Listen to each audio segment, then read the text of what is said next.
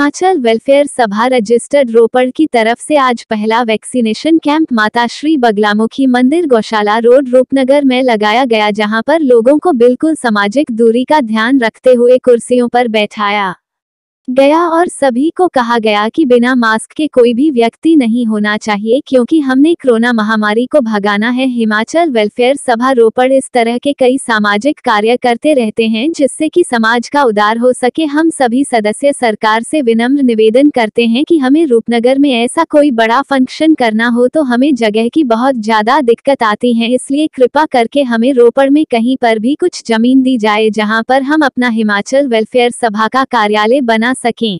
Token दिया जाता है और कोरोना महामारी से लड़ने के लिए जो सरकार के नियम हैं, उनकी पूरी पालना की जा रही है।